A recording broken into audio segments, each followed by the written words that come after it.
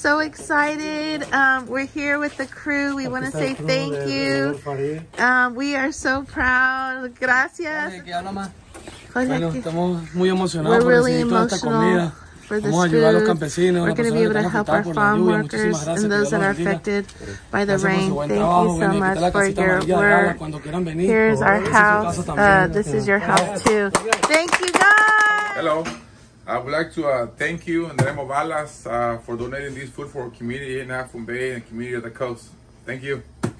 I'm Patty Ramirez. I'm just part of the board of Alas. I just want to say thank you for this amazing food that we have we got ready for our community. I'm just want to say thank you so much. God bless you. We have an amazing team from the MAP program. Gracias, señores, por estar aquí. And the truck that still has some more food. So we're really grateful. Everybody, as you can tell, it's very emotional to be able to know that we're going to get this out to the community. So we're so grateful.